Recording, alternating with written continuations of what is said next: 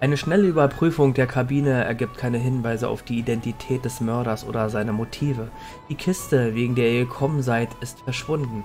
Während ihr euch umdreht, um die Kabine zu verlassen, bemerkt ihr, dass sich am Boden etwas Kleines bewegt.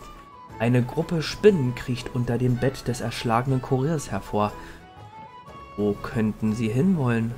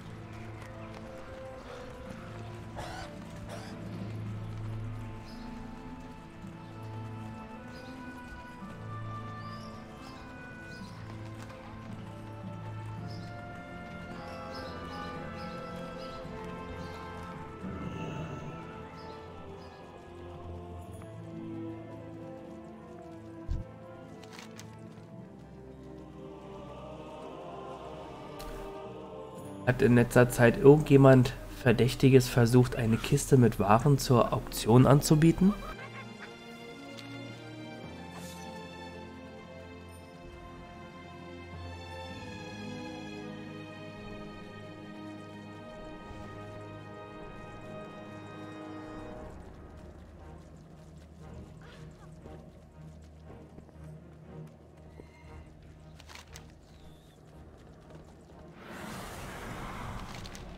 Senkt eure Stimme und lasst nichts hierüber verlauten oder meine Karriere als Auktionator ist vorbei.